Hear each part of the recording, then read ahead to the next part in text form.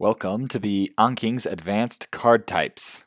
We'll be talking about the cloze countdown timer card, another cloze that has hint fields, a cloze that has one by one so you can click through each one and reveal them one at a time. It's one of my favorites. As well as the 10 questions card. I don't personally use it very often, but a lot of people do and it's very similar to the sketchy card, so I included it.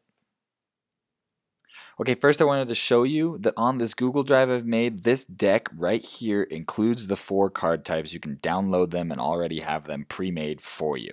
I know, awesome.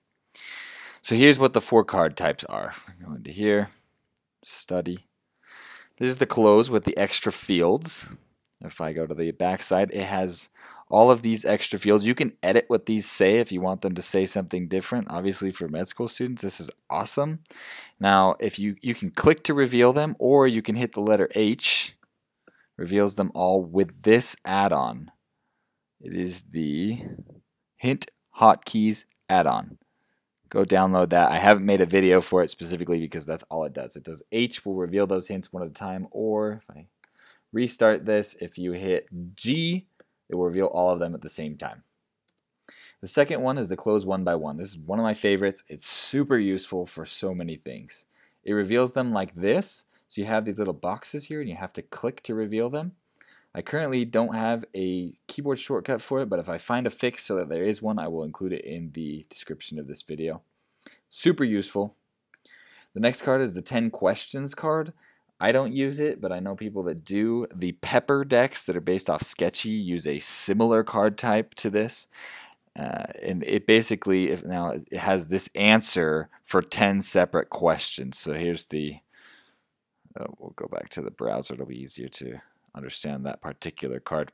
So there's card one and card two.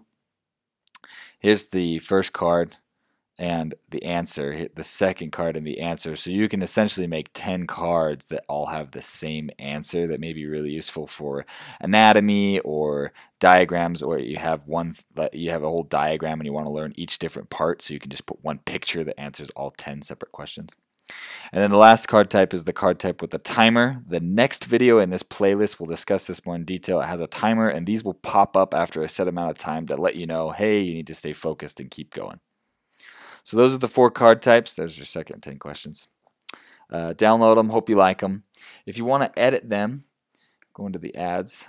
The extra fields here, you can see there's these extra fields.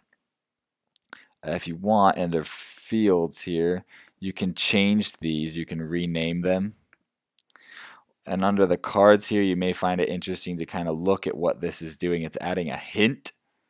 And if you copy and paste this right here, you can add as many hint fields as you wanted. So if you created more fields, just copy this code and make sure that the text is correct. You could add as many hints as you want.